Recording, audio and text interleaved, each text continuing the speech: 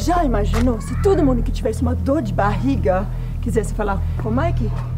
Ah, mas teve que ter um motivo muito forte para vir até a nossa casa. Eu vim aqui para falar da saúde dos trabalhadores da Shell. Ah, é esse assunto que ele quer falar. He wants to talk about the damn pollution. Are you going to talk to him? Não. Send him away. Não, não, não, não, não.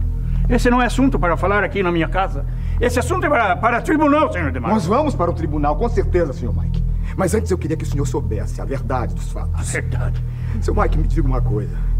O senhor tem coração? Aliás, o senhor teria estômago para visitar as pessoas que moram no entorno? O senhor teria coragem de visitar as crianças, os velhos e os jovens trabalhadores da Shell, cujas vidas estão escorrendo pelos dedos? Os funcionários estão bichados, podres, com câncer corroendo suas entranhas. Os fetos não estão se desenvolvendo. As plantações, as águas estão definitivamente contaminados. E vocês, a Shell, continuam a vender tonelada de veneno, a produzir tonelada de veneno e a lucrar milhões de dólares em cima da vida das pessoas. senhor Demarco, you're so naive. Ingênuo. Eu conheço seu luta. No meu país de origem, todos conhecem a sua luta.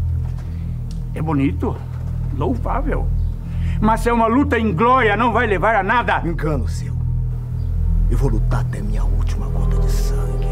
Chega! A vida de vocês é tão mesquinha e pequena que cabe na conchinha da Shell. A minha vida e de meus amigos trabalhadores vale muito mais do que a de vocês! Já chega, senhor Demarco! O senhor vai desaparecer agora da frente da minha casa. Ah, Shell! Pensa que é intocável! Nós, os trabalhadores, vamos vencer essa guerra! O senhor vai ver! E não vai sobrar nenhum tijolo no lugar onde hoje funciona aquela maldita fábrica! Segurança!